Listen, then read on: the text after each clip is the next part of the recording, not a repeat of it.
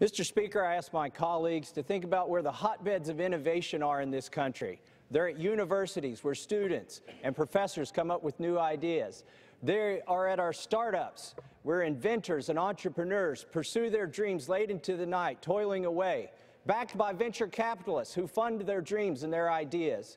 But why would venture capitalists, entrepreneurs, inventors, and universities be against a bill called the Innovation Act?